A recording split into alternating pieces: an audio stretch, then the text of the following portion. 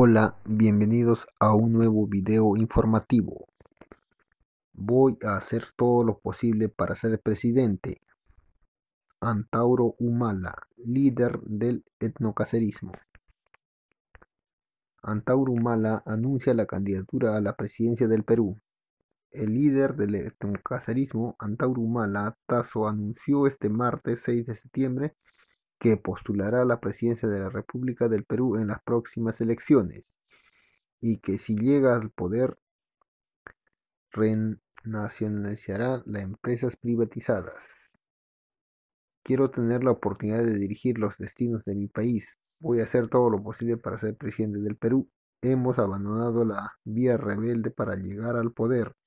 Vamos por la vía convencional y competir en las elecciones por la presidencia, señaló un malatazo.